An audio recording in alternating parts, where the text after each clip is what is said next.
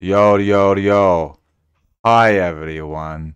Today we are debating vegan gains for the third time. And I would just like to say, as an opening remark, just look at you.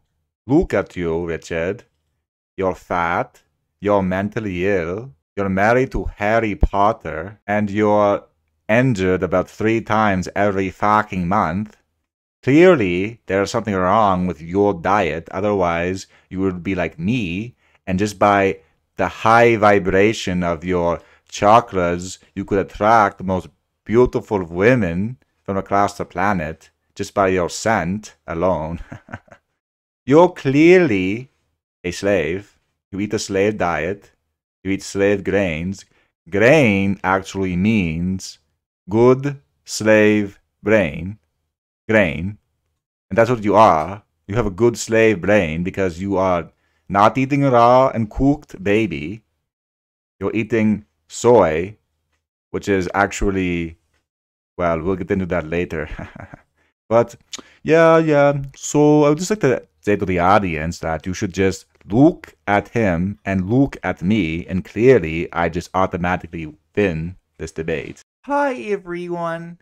Well, Sparage, if you're so tough, then why don't you get in a cage and just fight me?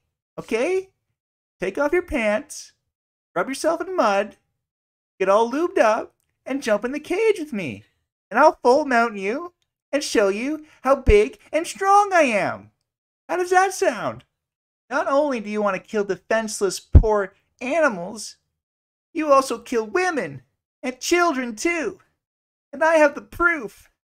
I'm not going to show you the proof, but I have it. You're a mass murderer you stabbed people in Latvia. Even though if you did that, you would never be able to leave the country, I know you did it. And when I full mount you in the cage, I'm gonna turn your skull into nothing but pulp of the pavement. what the fuck? What the fuck? You actually knew about that? I stabbed them and I ate them. but why would that even surprise anyone? You fucking mentally ill retard. I know you want to do that, Richard. It is natural to want to turn people's head into pulp on the pavement. You are just embracing your natural primal side.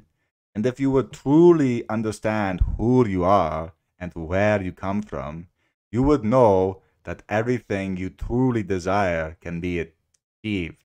What are you talking about? I know where I come from. I'm Canadian you are Canadian and therefore you're automatically mentally ill. Canadians lack sunlight, they lack raw milk, and therefore it is a slave country. Just look at the Demon 2. I would know for a fact because I married one. this study that was funded by Bill Gates told me that soy is good and meat is bad. What do you have to say to that, Sparage? Just look at the study.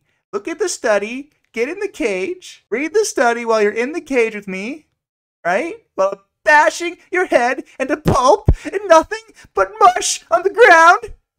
And then you'll understand how compassionate we are as vegans. Soy is literally made from aborted fetal stem cells.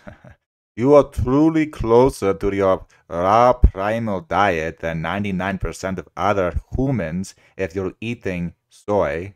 Soy has the nutrients in its substance from babies, okay? You eat soy, you eat a baby.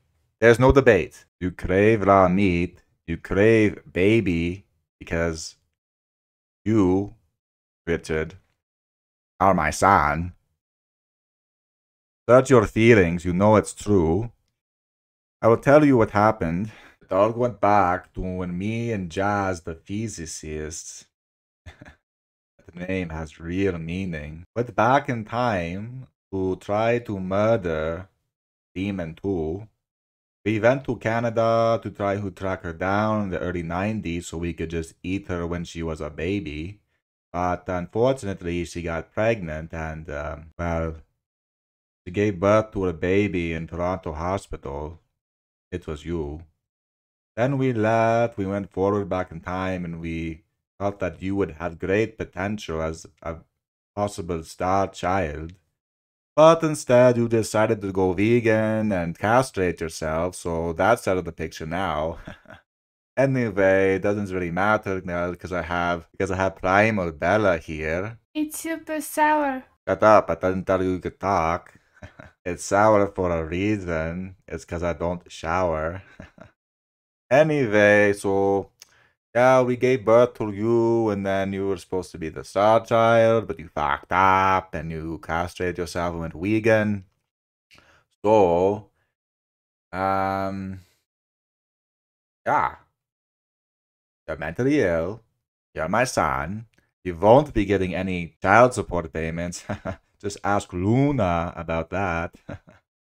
and yeah, that is why you crave baby. No, that's impossible. No, I see it now. I see it. You bastard. You bastard. Doesn't matter. I have my husband, I mean, wife, and we're going to be together on OnlyFans forever. Anyway, that's the end of this debate because just look at you, look at me, I win. but I just would like to tell you, audience, that if you drive a car, you are a bitch boy. you see, driving cars is for mentally ill slaves who have jobs and work and do things with their lives. Unlike me, who is an enlightened one who gets money on YouTube naturally. what is more manly and natural than driving a car would be riding a bike you see, having a small little phallic like object stuck up your ass all day is extremely manly. And riding for years until the point where your ball sack no longer produces sperm and you have hemorrhoids, that is much more manly than driving a truck or a car or a motorcycle.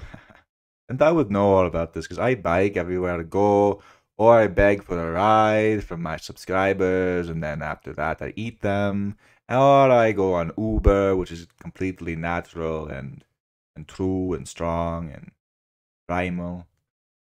Yeah, yeah.